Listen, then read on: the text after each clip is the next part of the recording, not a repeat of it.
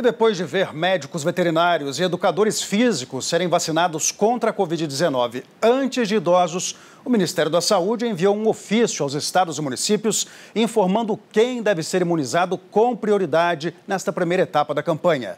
As várias ocupações de profissionais da saúde estavam gerando confusão.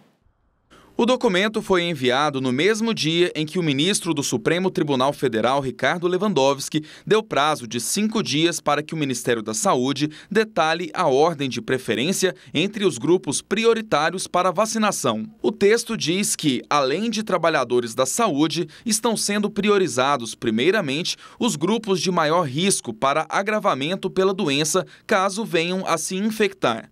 Diz que, diante dos estudos até o momento apresentados, esses grupos seriam compostos por população idosa e população portadora de determinadas comorbidades e imunodeficiências. Hoje, a cidade de São Paulo começou a vacinar profissionais de saúde autônomos com idade a partir de 60 anos. Esta dentista de 71 foi uma das primeiras a receber a dose. Como a gente trabalha diretamente na boca do paciente, tá?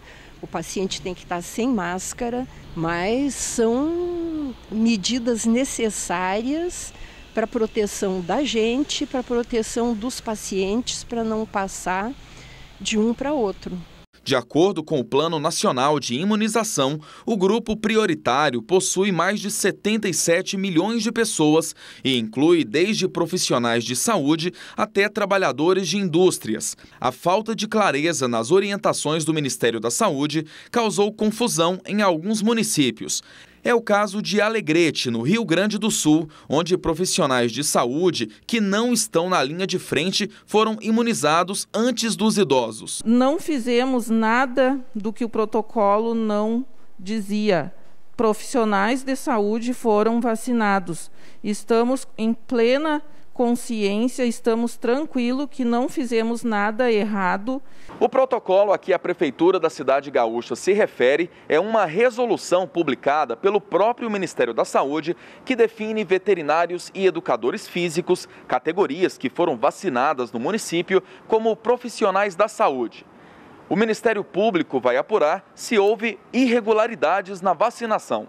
Este médico da Sociedade Brasileira de Infectologia diz que o correto é priorizar idosos, pessoas com comorbidades e apenas profissionais de saúde que estejam em contato direto com a doença. Está muito aberto, vamos dizer assim, essa, essa recomendação do Ministério da Saúde. Quando você coloca a população que trabalha no serviço de saúde, dá uma margem muito grande de você, tá certo, vacinando pessoas que não tem prioridade nesse momento.